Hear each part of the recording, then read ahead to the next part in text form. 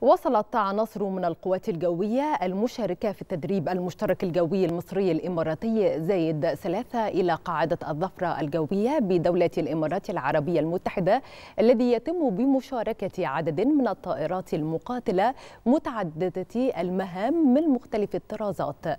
وتستمر فعالياته لعدة أيام. وتتضمن المراحل الأولى للتدريب عقد مجموعة من المحاضرات لتوحيد المفاهيم القتالية وتبادل تبادل الخبرات التدريبية وكذلك تنفيذ طلعات التدريب على مهام العمليات للقوات المشاركة ويهدف التدريب لصقل مهارات القوات المشاركة من الجانبين وصولا لأعلى معدلات الكفاءة.